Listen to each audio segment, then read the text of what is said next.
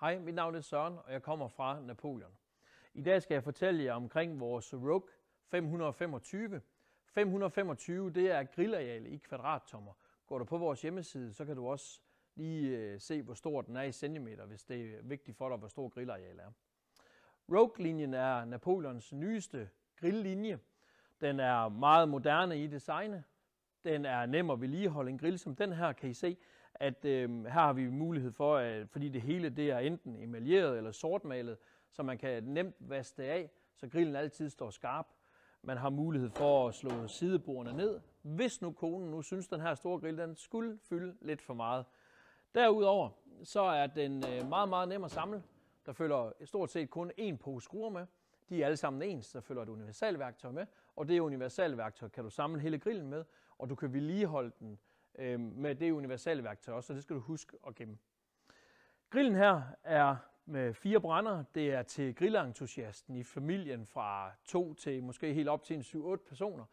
Øh, og grunden til, at jeg siger to personer, det er jo fordi, hvis du virkelig gerne vil trække hele dit måltid ud i grillen, så har du mulighed for det, fordi der er så mange muligheder med de fire brændere.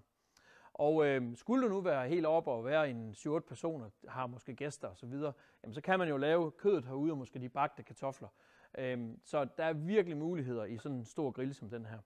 Hvis vi lukker grillen op og kigger ind i den, så vil man kan se her, at vi har vores varmehylde heroppe, og i forhold til 2019-modellen, nu er det her 2020-modellen, så er øh, varmehylden blevet ekstra stor, og man, så man kan se, at man får faktisk et helt ekstra grillareal heroppe.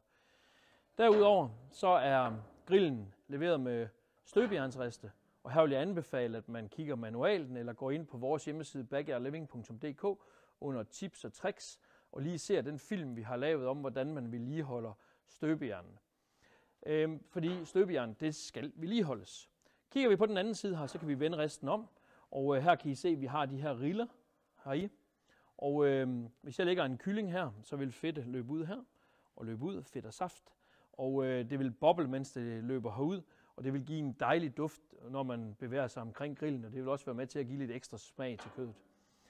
Ellers har jeg nede i grillen Napoleons øh, searplates. De er selvfølgelig lavet i 304 stål, som er det bedste stål, vi bruger inden for grillindustrien.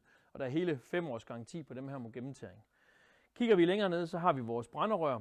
Og vores brænderør kan ved hjælp af bare lige den ene skrue her skrues af, og vedligeholdes, og dem anbefaler vi også, at man vedligeholder jævnfør manualen eller en gang hver halvår. Og det er her, hvor man skal gemme sit, øh, sit universalværktøj, som man fik med, da man fik grillen.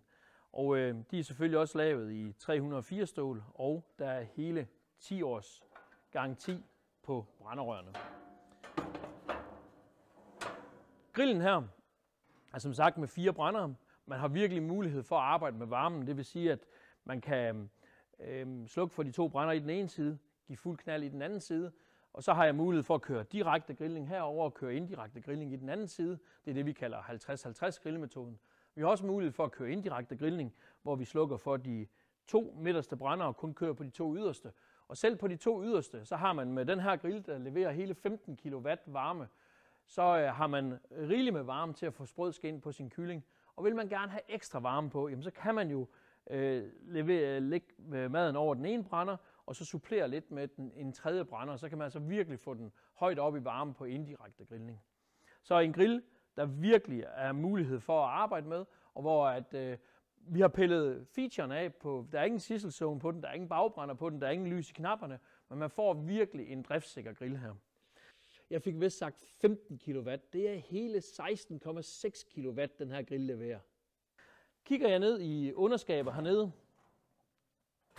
så øhm, er der mulighed for at have en 5 kilos flaske stående hernede. Og selvom flasken står hernede, så er der stadigvæk masser af muligheder for at have sit tilbehør og grillgrej hernede. Kigger man bagud, kan man se, at der er hul igennem, så man har altså også mulighed for at trække slangen bagud, og så koble gasflasken på, hvis man for eksempel bruger en 10 kilo.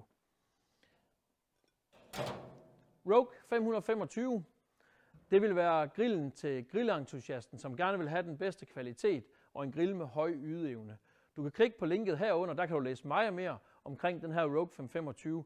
Rigtig god fornøjelse ude ved grillen.